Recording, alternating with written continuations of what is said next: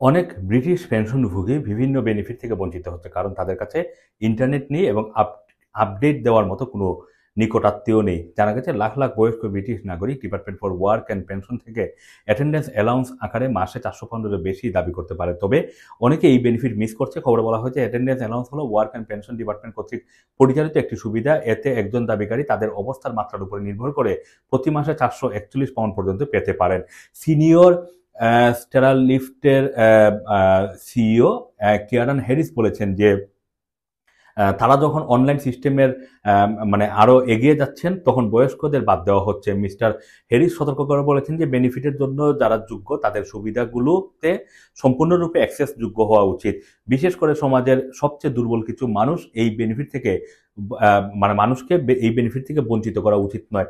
ইন্টারনেটে অ্যাক্সেস নেই এমন অনেক বয়স্ক মানুষ সুবিধা থেকে বঞ্চিত হচ্ছে। এমনকি বেশিরভাগ বয়স্কদের কোনো নিকট আত্মীয় না থাকায় তারা আপডেট তথ্য পাচ্ছে না। ফলে সময় মতো ক্লেম করতে না পারায় বেনিফিট সুবিধা থেকে বঞ্চিত হচ্ছে। মিস্টার হ্যারিস আরও জানান, সম্প্রতি তিনি একজন নারীর সাথে কথা বলেছেন। ওই নারী তার কাছে অভিযোগ করেন যে দেশ এবং সিস্টেম তাকে তাকে সহ বয়স্ক আরও অনেক মানুষকে ভুলে গেছে। প্রযুক্তি দক্ষতার অভাবের কারণে তারা সমাজ থেকে একাকী এবং বিচ্ছিন্ন বোধ করছেন। এর কারণ তারা ইন্টারনেট ব্যবহার করতে পারেন না। এছাড়া তার মতো আরও, তার মতো আরও অনেকে, অনেকের কোনো নিকটাত্মীয় নেই যারা তার যোগ্যতা যাচাই করতে এবং তার পক্ষে বেনিফিট আবেদন করতে পারে।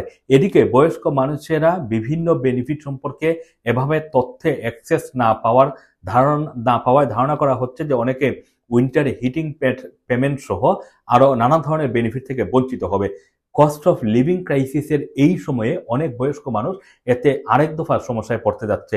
বিষয়টি নিয়ে মিস্টার হ্যারিস বলেন, সরকারকে অনলাইন নির্বিশেষে সবার কাছে তথ্য পৌঁছানোর ব্যবস্থা করতে হবে, না হলে অনেক মানুষ তাদের প্রয়োজনীয় বেনিফিট থেকে বঞ্চিত হবে।